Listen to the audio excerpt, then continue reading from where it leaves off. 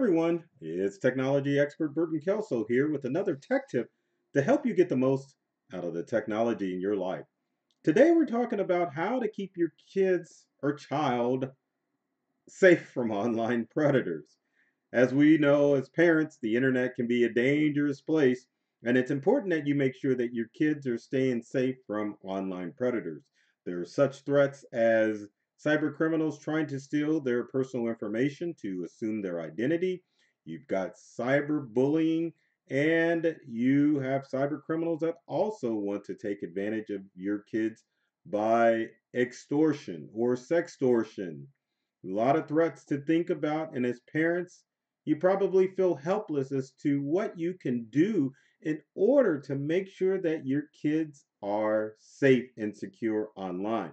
Now, the easy thing to do would be to keep your kids offline, but in today's world, it's almost impossible as learning. Oh, what's the word that I'm looking for? I should just say schools. I was trying to make it a little bit more complex, but we'll just say what schools, public, private, even online homeschooling networks require you to be on the internet. It's important that you take the time to make sure that they're safe. So, what can you do? Well, let's look at some tips and talk about some stuff. So, obviously, kids are online on their devices all the time, but you have to understand as a parent, one of the challenges with technology is that it's addicting. And your kids' young minds are gravitating to those devices all the time. And app and hardware manufacturers purposely design these devices to keep your child plugged in all the time. So, your first rule as a parent is to make sure that you limit where they go or where they go and what they are doing. And you can do that by having a conversation with your kids and just let them know about the online dangers of being online. Also, when you're having this discussion with your kids, especially if you haven't had it before, you need to make sure that you are setting the ground rules as far as how the technology that they have in their hand, namely their smartphone, is going to be used so that they don't get themselves in trouble. So, what does that conversation look like? Well, basically looks like is my phone, my rules, but to expand out on a little more is just apps that they're not allowed to download, if they're allowed to be on social media or not, and even time periods and the expectations of how long your kids are going to be on the devices.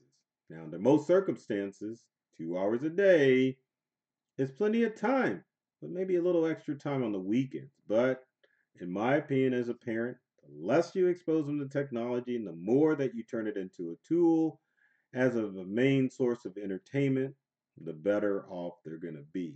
Now, it's older kids, teens and tweens, may be a little bit more difficult because in order for your children to have that interaction with their friends, it's going to require a little use of a smartphone.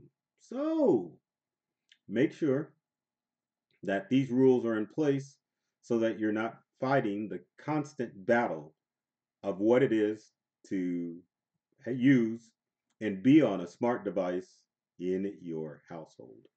Now, the next rule or thing that you need to talk about with your kids is the whole chat room thing.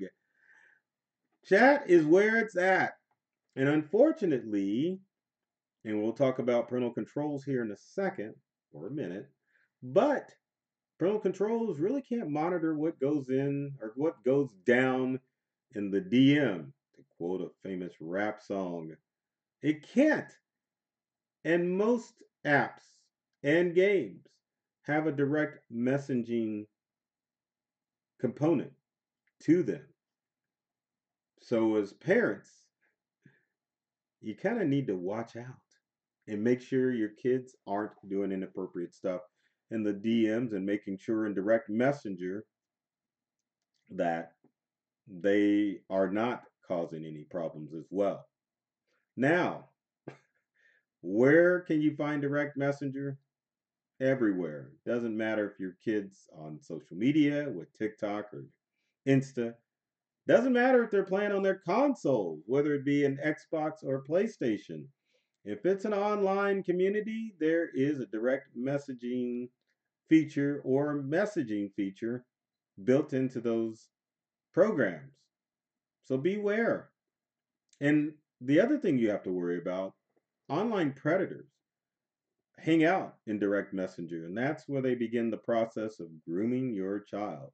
Obviously, they're not going to post if your kid's on social media on their wall that they want to connect and meet. They're going to just reach out to them through direct messenger. Same thing with online drug dealers, which is another problem that kids have to worry about online. So, what's the best way to make this happen? Well, parents, unfortunately, you got to grab their device and check it out every now and then just to make sure that they're doing what they're supposed to be doing. Hate to say it, but you got to do it. Another problem is those sexy photographs that teens and kids want to send out. Now, you could be like this, dad, and embarrass your child and take your own quote unquote sexy photograph. But with photographs, children need to understand that whatever they post on the internet is going to stay forever. And even if they're using apps where the message disappears, it only takes less than a second to do a screenshot and have your friends repost that on another social media network. So explain that to your kids before they risk exposing themselves and having that photo online.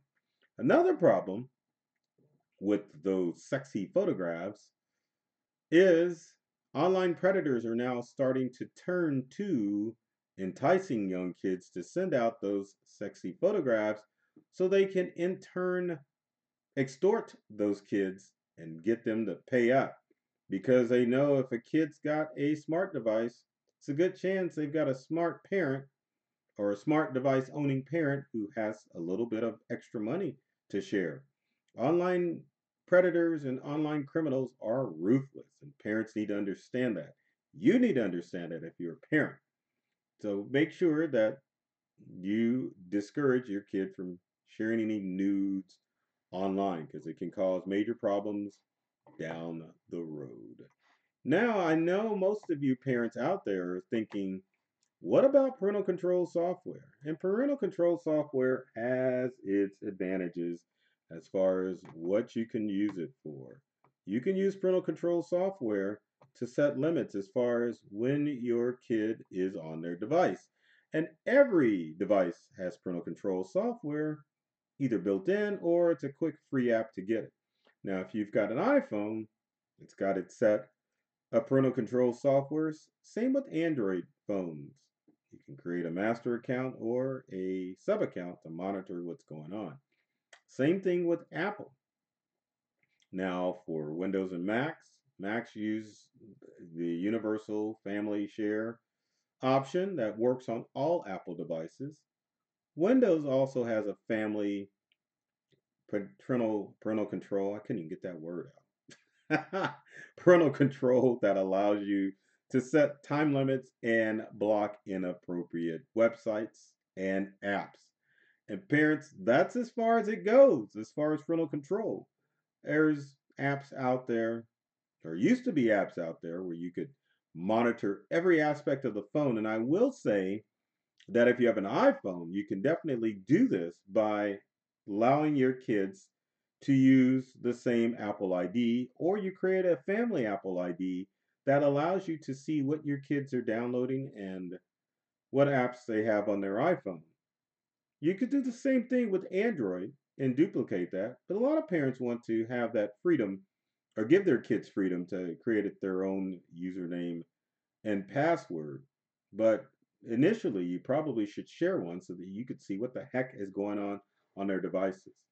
Now, back to actual third party parental control software, not much it can do other than set time limits. And the challenges with third party parental control software is that the operating system changes, and a lot of the app and hardware manufacturers don't want the parental control software on there because they want to keep your kids plugged in.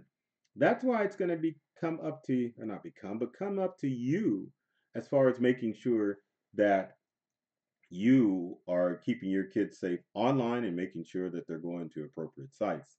The best protection that a child can have on the internet is a parent who regularly checks their kids' devices to make sure they are on the up and up.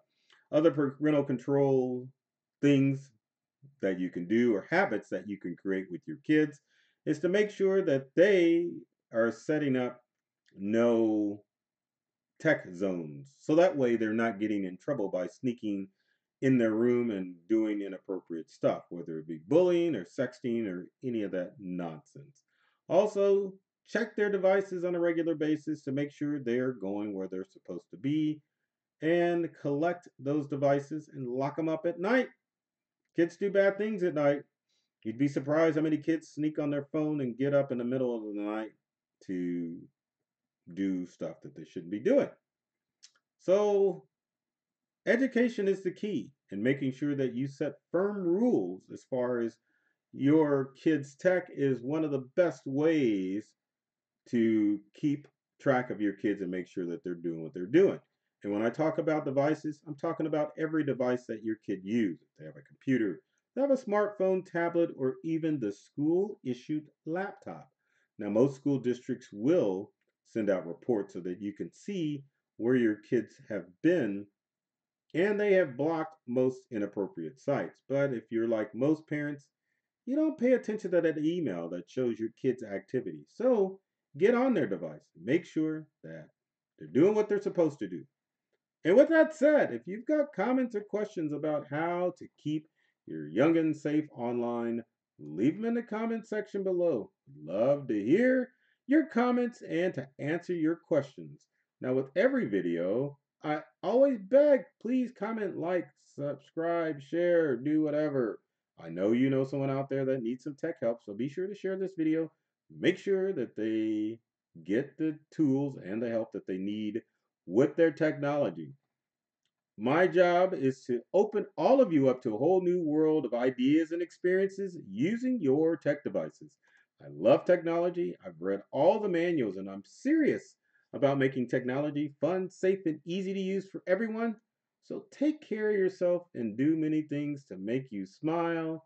And thanks for watching.